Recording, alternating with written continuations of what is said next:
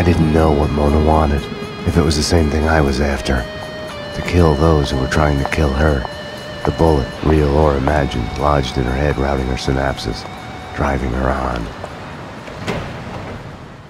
She had arrived to the site while I was inside the condemned building. I don't know what went on with her. Max, I'm at the site. Where are you? A condemned building at the edge of the site, headed upstairs. I'm at the wrong end. I'll try to get to the roof to get a view of the place. Later, I'm kinda in the middle of something. Be that way. Okay, so we're breaking our backs hauling the hardware here because the choir building's not gonna exist much longer. But what are we supposed to do with the bodies? They're not gonna magically turn to dust when the building blows up. It's gonna be a mess. The boss will figure it out. Trust his twisted evil mind on this.